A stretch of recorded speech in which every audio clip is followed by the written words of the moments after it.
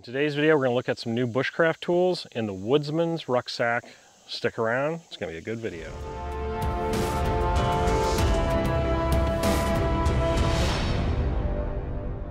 So today I wanted to get out in the woods. Uh, the temperatures have cooled down quite a bit today. It's like in the low 70s.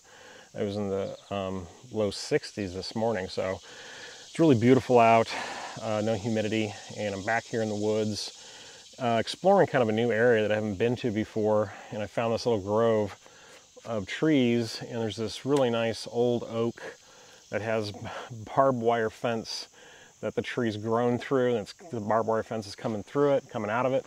It's kind of cool. Um, that's really shady back here and cool. Um, bugs aren't too bad. So what I'm going to do is I'm going to set up a little uh, little camp today, make some lunch on a stove, and show you some tools and some gear that I've recently received um, that I think are to make great bushcraft tools for my bushcraft woodsman Dayruck. Um, pack that I'm sporting today is from Duluth. Um, I think this is the Woodsman or something like that. Really cool pack. Um, I, I, love it. It's pretty neat.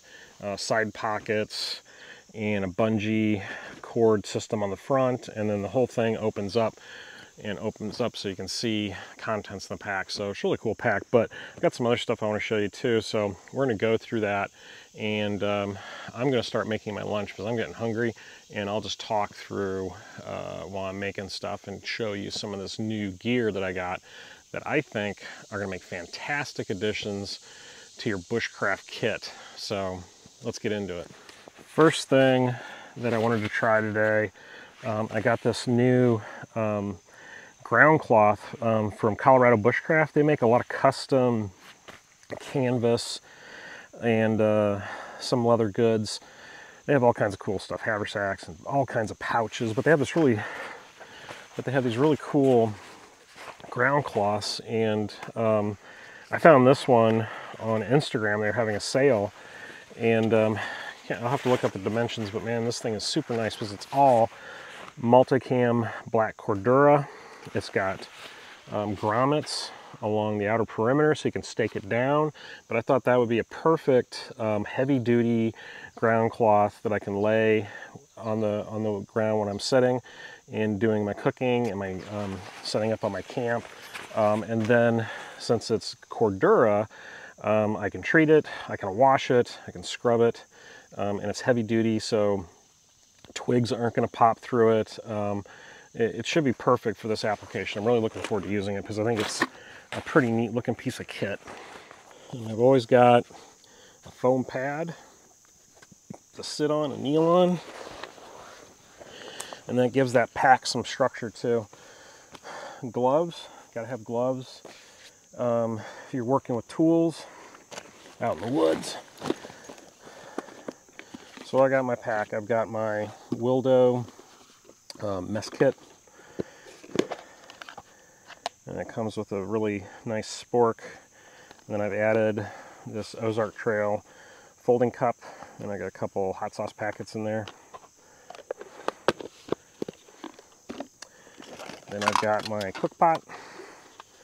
This is um, from Boundless Voyage. You've probably seen it in some other my other videos that I've made. I actually did a review on it a long time ago, but it is titanium. But what's awesome about this thing is has a bail, has handles. It will fit uh, a Nalgene Oasis canteen perfectly. Um, and I think even the military issue canteens will fit in this perfectly. So you can use this as a canteen kit, but also comes with this really cool stove stand. So you can build a fire underneath that or use alcohol stove or um, you know, fire starting cubes, Esbit tabs, something like that. So really cool. Of course, just a first aid kit, nothing special there. And then for lunch today, we are going to be doing some Chapagetti Zhejiang noodles. That's from uh, Nongshim. And then I think a perfect addition to that would be uh, Tuna Creations Spicy Korean Style. So that's lunch. And then the stove I'm going to use, because I don't want to start a fire out here on the ground. Um, but I got the stove. And I know you guys are going to ask me about this thing. I want to know where I got it at and where can I get one. I've had I've shown this in another video. This I actually got off of Temu. Um, and it was super cheap, like, I don't know, 11, 12 bucks. But it's stainless steel, um, and I'll put this together and you guys can see this thing, but it's pretty cool. And I'll show you some tricks with it, but um, I've been using this lately, and I really like it. I like the size of it, and um, it's just a cool stove. So we'll set that up. And then um, the one thing that I definitely want to mess with today is this new BPS knives. Um, I think this is the Wolverine, is what they call it. If you're unfamiliar with BPS knives, um, they are out of the Ukraine, and they make some really nice um, budget-friendly uh, bushcraft knives. This is one of their bigger ones. Um, it has a really nice um, handle, oak, and a sharpened spine and uh, a decent Scandi grind on this thing. And I think this this is the stainless version. They also have a high carbon steel version as well. And it comes with a really nice leather dangler sheath with a matching ferro rod. So um, fantastic budget bushcraft package right there. And if you're a woodsman, you got to have a good knife. And BPS is definitely worth checking out. Then here is, this is from Centerline Systems. This is the um, their tool roll. And uh, what I got in here is really my, my kind of emergency shelter kit. So this opens up and you're able to hang this from a ridge line or off of a branch. But what's fantastic about this is it holds my 5x7 camo tarp. This is from um, Etowah. So it's a good size tarp for an emergency tarp or a day tarp. In this pocket, I've got my stakes, and these stakes actually came with that tarp. And then I also have 550 cord.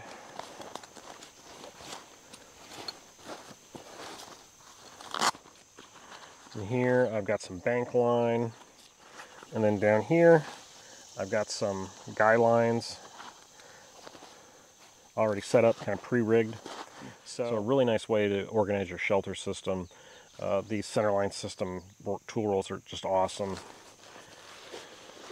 And I lucked out and found one in, in multicam black, so it matches my ground tarp, which is kind of cool.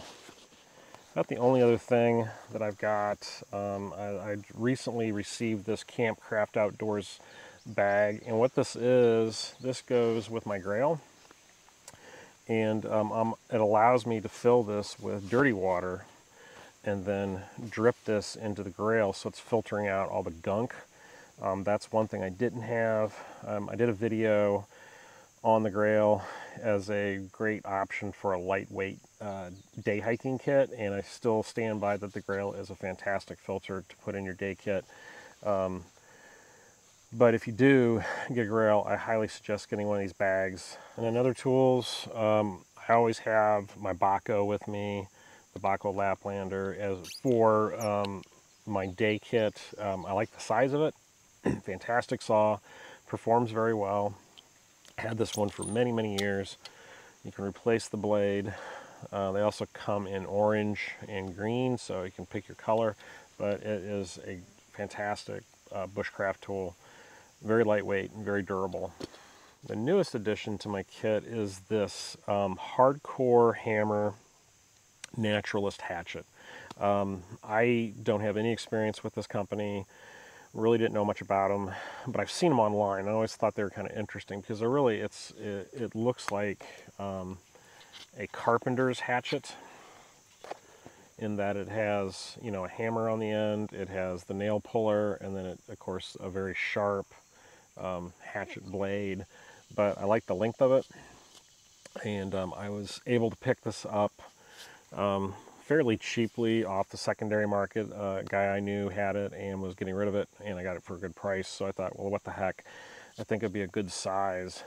Now I did a little splitting with it. There's not a lot of wood that I can split back here without cutting down some stuff, and I don't want to do that. Um, and the wood is a little punky, so it's kind of soft. So probably not the best test, but I really like the length of the handle. Um, it's perfect for a day kit, for a day pack. Um, and then, it, you know, I think there's good capability with this uh, for limbing, um, for shelter building, driving stakes, um, just a lot of different applications. So I think it's going to be a great tool. All right, now we're going to build the stove. A little finicky.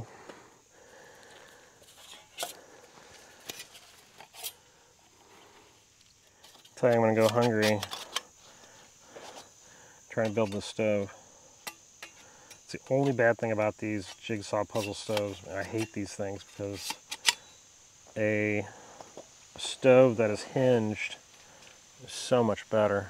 Now the flaw with this stove is this. So the grate, really nice grate, right? You can cook you can cook a steak on this, nice size, and I like the the shape of that firebox that holds a lot of wood and it's got good airflow from the bottom and the sides. But here's the problem. Getting um, any kind of sizable wood inside this thing while you're cooking on it, you can't do it because the grate is covering it. Um, there is a little bit of area right in here that you could sneak some sticks in, but you risk, uh, risk the possibility of knocking over your pot. So what I um, have done uh, before is put the grate like this. So I have my pot on it. I can still feed wood into it. Um, I think that'll work out pretty well. Um, but then if I wanted to grill like a big piece of meat, like a steak or some brats or something, I would have to go back to this configuration.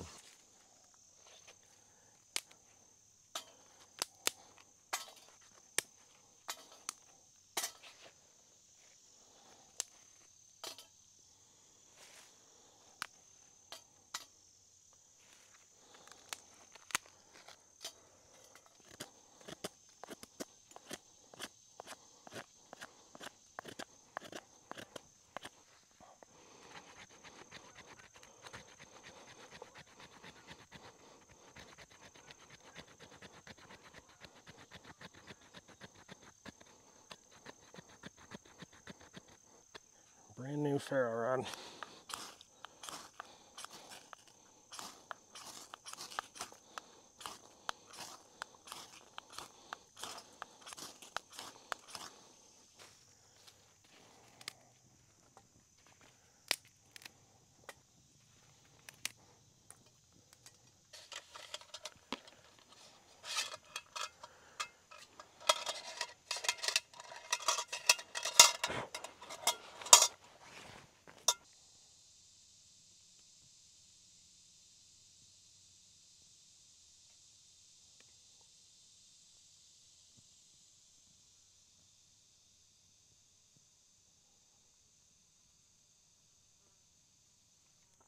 Got room now on the side that I can actually feed this a little bit.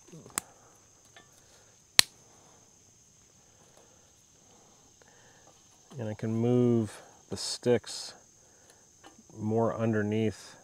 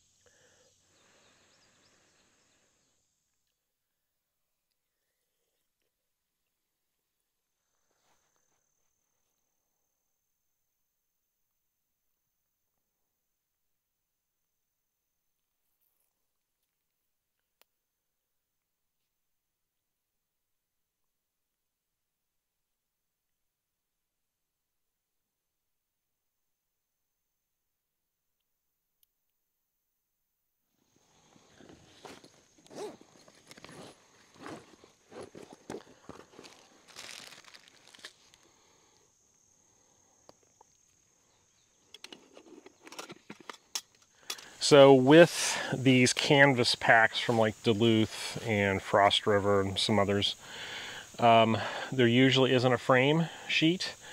Uh, the padding on the shoulder straps is very minute. I mean, it's basically just strap material. There's really no padding.